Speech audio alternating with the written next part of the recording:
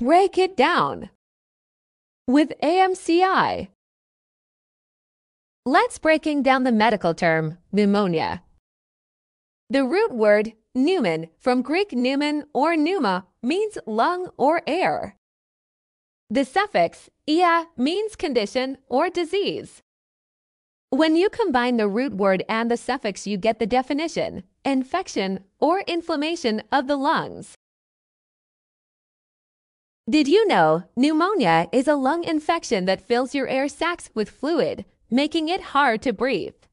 It can be caused by bacteria, viruses, or fungi, and while anyone can get it, babies, older adults, and those with weakened immune systems are most at risk. The good news you can help prevent pneumonia with vaccines, good hand hygiene, and staying healthy. We hope you learned something new today. Thanks for watching. Happy coding!